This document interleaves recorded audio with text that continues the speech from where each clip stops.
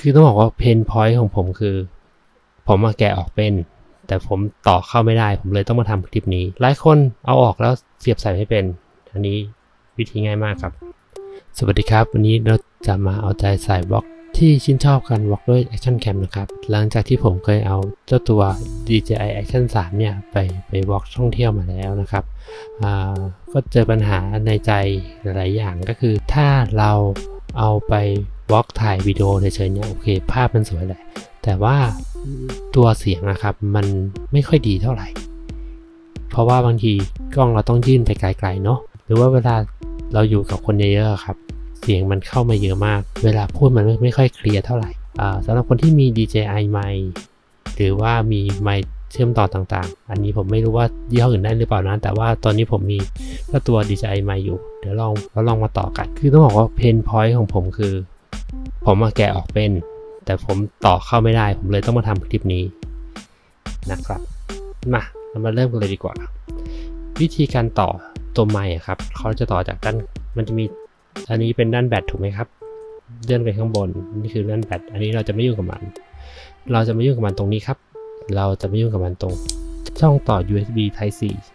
ทีนี้วิธีการถอดออกหลายคนไม่กล้าถอดออกครับ วิธีการถอดออกมันง่ายมากครับ ดึงลงมาครับ อย่างนี้พอสลักกันเป็นแบบนี้ เราก็เลยต้องดึงทำด้วยการดึงออกแบบนี้ ทีนี้พอออกมาแล้วใช่ไหมครับ เราก็มาต่อเจ้าตัว DJI Mic กัน เจ้าตัว DJI Mic เนี่ยมันจะมีตัว Type C ตรงนี้ แล้วก็เสียบ Type C ตัวนี้ลงไป ก่อนอื่นเลยเราต้องมาทดสอบอย่างกันครับว่าความแตกต่างของไมค์สองตัวนี้มันต่างมันต่างกันยังไง ไมค์ที่จะมาจากตัวกล้องกับไมค์ที่มาจากตัวเจ้าตัว DJI Mic มันคมชัดกว่ากันแค่ไหน ดูกันครับ สวัสดีครับนี่คือเสียงที่มาจากเจ้าตัว DJI Action 3 โดยตรงนะครับ สวัสดีครับนี่คือเสียงที่มาจาก DJI Mic นะครับ ลองดูนะครับนี่ชัดไหมครับฮัลโหลฮัลโหลหนึ่งสองสามสี่ ฮัลโหลฮัลโหลหนึ่งสองสามสี่คือ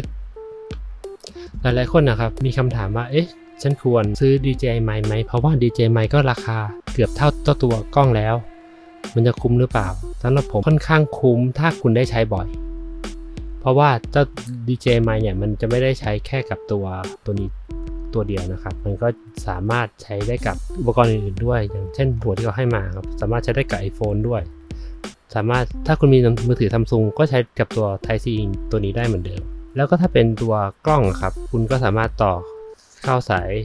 3.5 ได้เลย ผมว่าถ้าคุณได้ใช้ในหลากหลายอุปกรณ์ผมว่ามันคุ้มเสียงมันค่อนข้างโอเคทีเดียวนะครับ จากที่ลองมา ผมจะขอเก็บอันนี้ก่อน เพราะว่าจริง ๆ แล้ววันนี้ที่ทำคลิปนี้มาเพนพอยต์ผมจริงๆอะมันไม่ใช่การต่อตัววิดีโอ ตัวไมค์เข้าไปกับตัวกล้องหรอกครับ วิธีที่เป็นเพนพอยที่สุดคือคุณเห็นไหมครับพอแกะออกมาครับ ถ้าณตอนแรกผมจะติดไปอย่างเงี้ยมันติดไม่ได้ เพราะตัวตัวเต็มมันสั้น ผมก็คิดอยู่ตั้งนานผมต้องทำยังไง ทีเนี้ยผมก็ลองผิดลองถูกเนาะจนรู้ว่าอะสิ่งนี้ครับ สิ่งที่ท่านเห็นตรงนี้ มันเห็นยาวอยู่แค่นี้ใช่ไหมครับ จริงๆมันเลื่อนได้ครับ มันเลื่อนได้นิดหนึ่งเห็นไหมครับ มันดึงออกมาได้นิดหนึ่ง พอคุณดึง ถ้าคุณดึงถ้าคุณไม่ได้จัดไม่ไม่ได้แต่งมัน คุณจะเสียไปตรงเนี้ยไม่ได้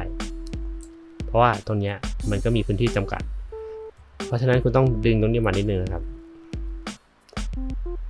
อะคุณดูตรงนี้ใช่ปะมันได้นิดนึงดึงให้สุดอะครับ แล้วก็ปิดออกไป ง่ายมากครับ แต่วันวันที่ผมไม่รู้คือมันยากมาก ผมเลยคิดว่าผมควรทำคลิปนี้ เพื่อ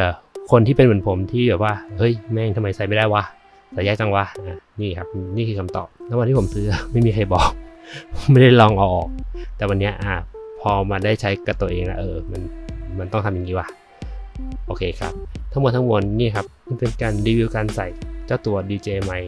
เข้ากับตัว DJI Action 3 และเป็นการประกอบเจ้าตัวนี้ ประกอบด้วยตัว cover ของ USB Type C ของมันง่ายๆอย่างนี้นะครับ ลองเอาคลิปนี้ไปไปดูกันนะครับ ขอบคุณมากครับใครชอบ